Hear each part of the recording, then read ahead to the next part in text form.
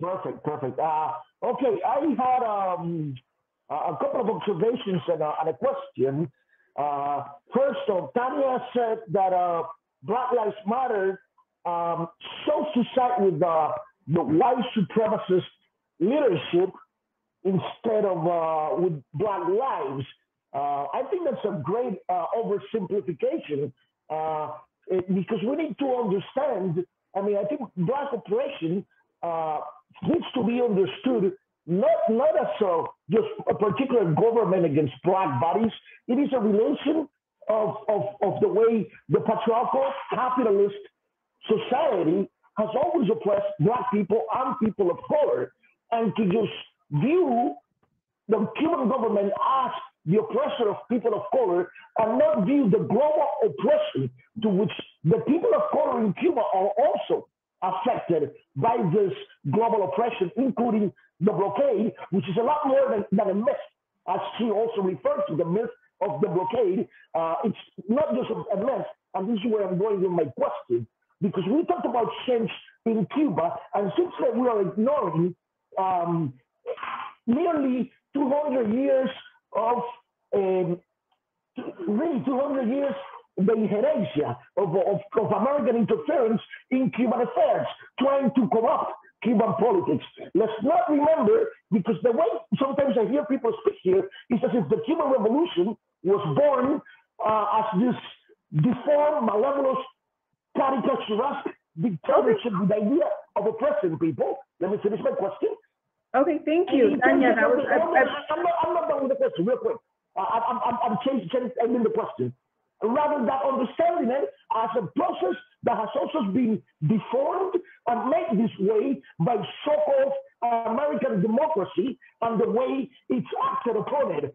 And now to present the idea of this multi-party liberal democracy as real democracy, when even here in the US, we see that the will of the people does not reflect in actual policy. What exactly are you offering the Cuban people that it's not that does not become the typical liberal democracy that there is in the rest of Latin America, where the, the, the, the form of democracy Okay, thank you. I think we do have our question. Um, we need to make sure that we're able to hear from a couple of people. So Tania, I believe that was directed at you, and I think you got some sense of what direction um, the question was going in, if you'd like to respond.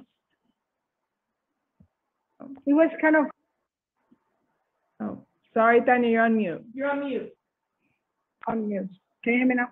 So it was a little hard for me to understand, but I want to, to clarify one thing. I never said the white supremacists in the Cuban government. I said the Black Lives Matter supported white privileged men over brown and black people. That's very different.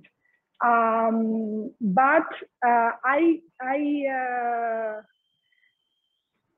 I've been for many, many years, I've been in the realm of people who are talking about turning down the blockade and basically to the end of the question, what is offered that is not a typical liberal democracy? Okay, great. I think that's a great question. Um, he said, uh, what is offered that is not the typical liberal democracy that does not democratically reflect the will of the people? That's a great question. Thank you for writing, reading down. Um.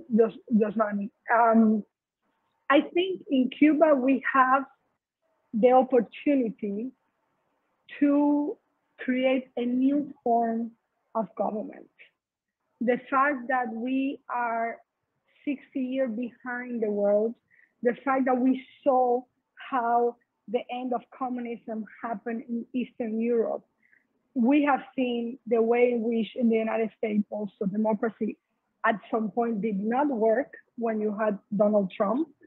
Um, and all the loopholes that democracy can have to hide non-democratic um, issues and, and uh, social injustice and so on.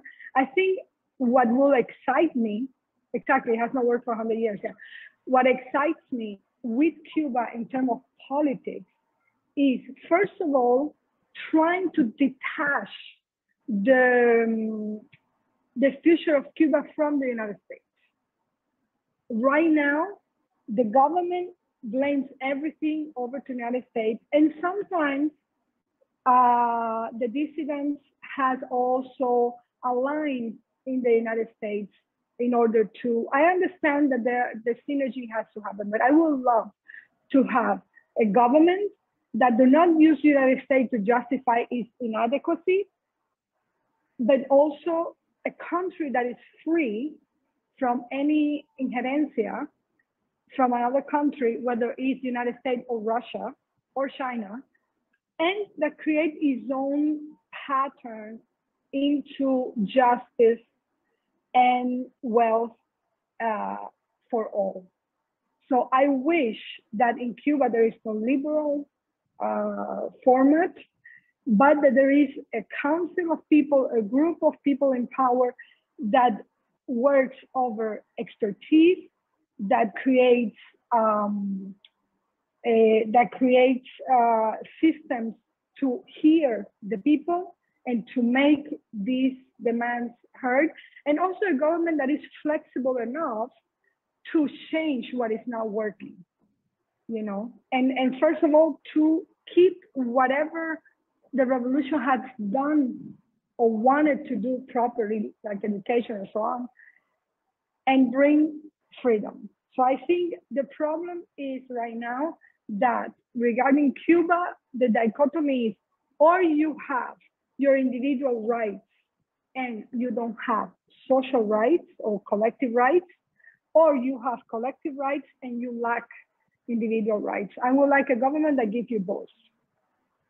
Great. I don't know if that answers your question. Um,